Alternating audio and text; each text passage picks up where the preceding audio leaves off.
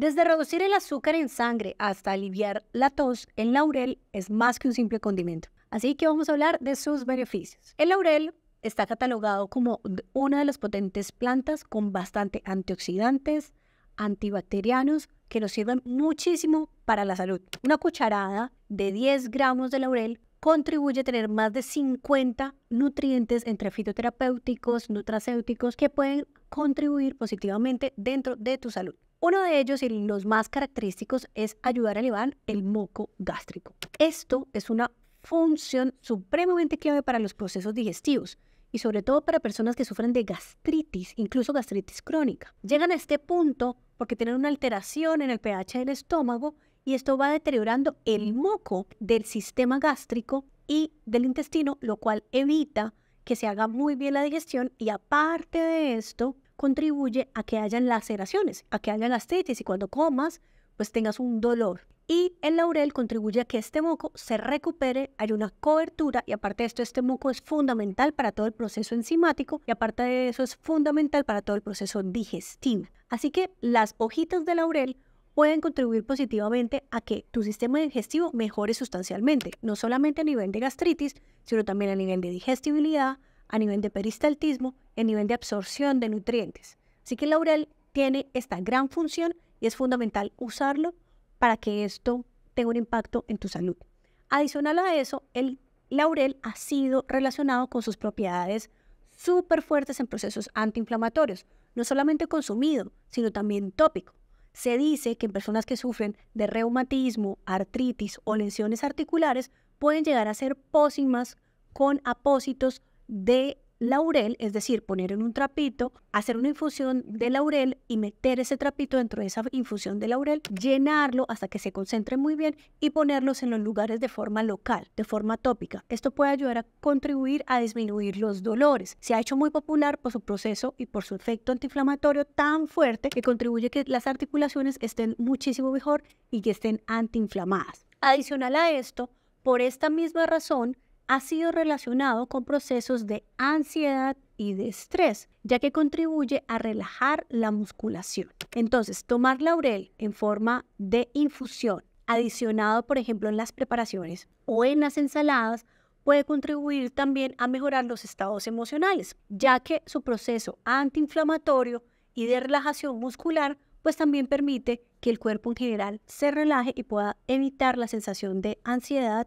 y de estrés. Así que tomar hojitas de laurel también ha sido relacionado con esto y se recomienda mucho que se haga antes de dormir porque va a permitir una mayor relajación y mejor conciliación del sueño. Estudios recientes han relacionado que el laurel tiene la capacidad de mejorar la sensibilidad a la insulina. ¿Eso qué quiere decir? Que tu cuerpo tendría una mejor transformación de los azúcares. Entonces, al mejorar la sensibilidad de la insulina, tu cuerpo tiene la capacidad de transformar mejor los azúcares y evitar varias cosas. Uno, que no se eleve el azúcar en sangre. Dos, que tu cuerpo no guarde grasa corporal. Y tres, de forma implícita, puede llegar a contribuir a que tú no subas de peso. Así que ha sido relacionado para mejorar el ambiente metabólico, obviamente utilizando el laurel de forma adecuada. ¿Cómo es esa forma adecuada? Utilizar más o menos 5 hojitas de laurel en un litro de agua, dejarlas concentrar por 30 minutos y dejarlas enfriar, es decir, condensarse esos sus aceites esenciales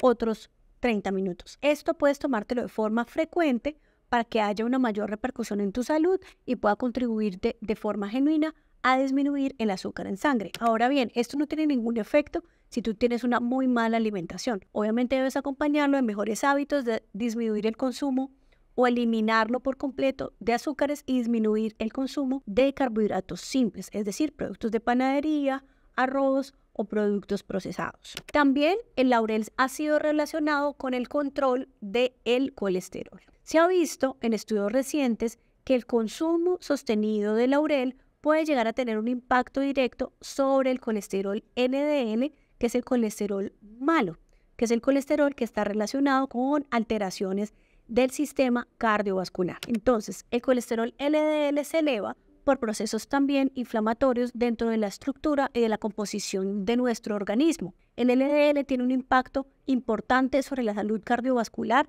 y si tú tienes un LDL elevado, tienes un factor de riesgo para enfermedades del corazón futuras. Así que prevenir esto es supremamente importante y el laurel puede ser un aliado perfecto. Sin embargo, reitero, el laurel no hace milagros. Si bien es un coayudante súper potente, si tú tienes muy malos hábitos, si te gusta consumir gaseosas, si te gusta fumar, si te gusta vapear, si te gusta tomar mucho alcohol, todos estos tóxicos van a contribuir negativamente en tu proceso de inflamación crónica sistémica, lo cual va a contribuir a elevar el colesterol de forma negativa. Adicional, si consumes muchos carbohidratos en tu dieta, es decir, en un solo tiempo de comida, en una sola sentada, consumes arroz, papa, yuca, pasta, tortillas, todo al mismo tiempo, y adicional a eso, comes grasas saturadas, es decir, muchas frituras, muchos productos que estén fritos o que tengan grasa animal, pues esto va a contribuir a elevar tu colesterol de forma negativa y no va a haber laurel que valga. Entonces,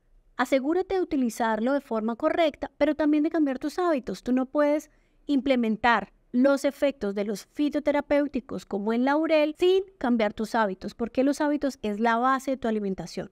Créeme que no va a cambiar de forma estructural el colesterol si tú no haces también unos cambios en hoy. Todo está interconectado. Así que si bien el laurel puede ayudarte, pues tú también debes ayudar a través de los buenos hábitos. El laurel no hace milagros, pero sí contribuye positivamente a que tu cuerpo mejore a través del buen metabolismo y la buena nutrición.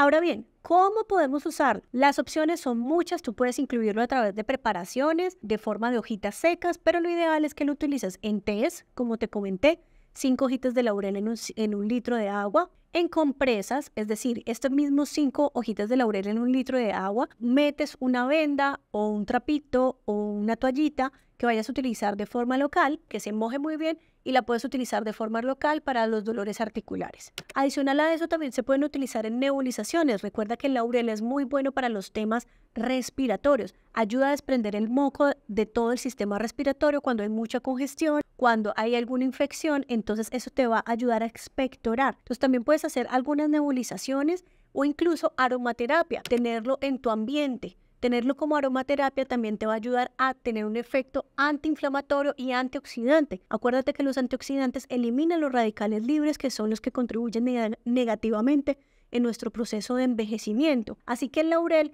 es un ayudante maravilloso en todos nuestros procesos de salud. Sin embargo, debemos utilizarlo bien y debemos llevar un estilo de vida saludable. Así que, si esta información te pareció súper útil, si conoces a alguien que necesite utilizar el laurel, por favor, envíale este video. Y si no te has suscrito, ¿qué estás esperando? Suscríbete en este canal para que tengas información prioritaria, VIP, de esto en salud, que sé que te va a ayudar. Y yo soy Diana Castillo, tu nutricionista y epidemióloga. Dale like a este video y recuerda que yo te ayudo a que te nutras bien para que no tengas que medicarte.